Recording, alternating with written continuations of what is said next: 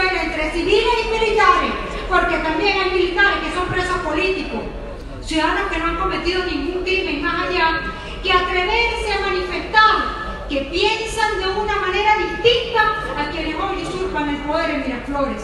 Ciudadanos que hoy están en las mazmorras del SEBIN, de Santa Ana, como en este momento que está siendo trasladado sin orden judicial un preso político de la cárcel de Santa Ana a la cárcel de Ramo Verde, sin ningún tipo de orden judicial. Estar preso, eso sí que es malo, si usted no ha cometido ningún crimen, ningún delito. O madres como la madre del bebé Ángelo Vázquez.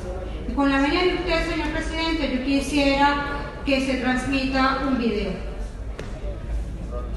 Adelante.